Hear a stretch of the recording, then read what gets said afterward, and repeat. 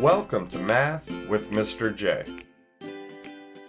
In this video, I'm going to cover how to find the area and perimeter of a triangle. Now remember, perimeter is the distance around the outside of a shape, and then area is the amount of space or surface something covers.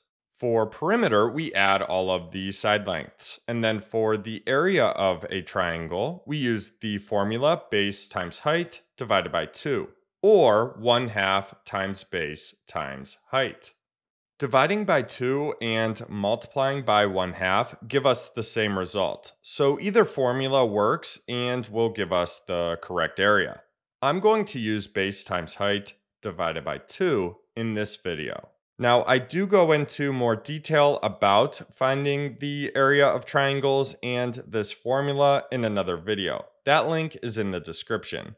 For this video, I'll go through two examples. Let's jump into number one, where we have a right triangle, and we will start with perimeter. Again, we need to add all of the side lengths in order to find the perimeter. So a triangle has three sides, so we need to add all three of those side lengths. So perimeter equals, well, 24 meters plus 26 meters plus 10 meters. So 24 plus 26 plus 10. Now, it doesn't matter what order you add the sides in, so something to keep in mind. You'll get the correct perimeter however you do it. So 24 plus 26 gives us 50 plus 10 gives us a perimeter of 60 meters. Let's move on to finding the area of this triangle. We will start with the formula. So area equals base times height divided by 2. We're going to use 24 for the base and 10 for the height. We do not need this 26 meters in order to calculate the area. Again, 24 meters for the base and 10 meters for the corresponding height. So let's plug in 24 for the base times 10 for the height divided by 2. So now we can work through this. Let's do 24 times 10 next, which gives us 240. So we have 240 divided by 2. That gives us an area of 120 square meters. So for this triangle, we have a perimeter of 60 meters and an area of 120 square meters. Let's move on to another example.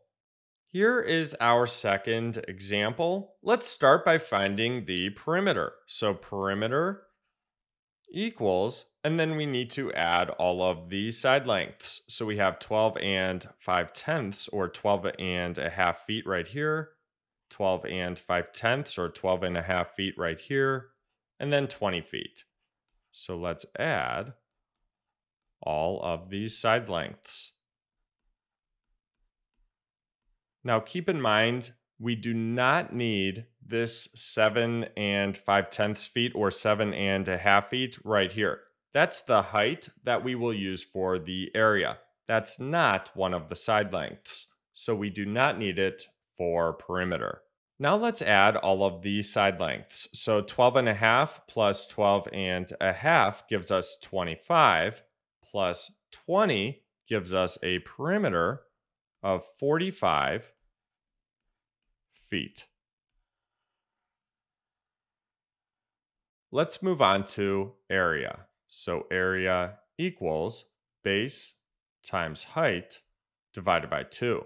Now let's plug in the base and the height. We're going to use 20 feet for the base and seven and a half feet for the height. So area equals 20 feet for the base times seven and a half feet for the corresponding height, divided by 2. Now we can work through this. Let's start with 20 times seven and a half. That gives us 150. So we have 150 divided by 2. 150 divided by 2 gives us an area of 75 square feet. So for this triangle, we have a perimeter of 45 feet and an area of 75 square feet. So there you have it. There's how to find the area and perimeter of a triangle. I hope that helped. Thanks so much for watching. Until next time, peace.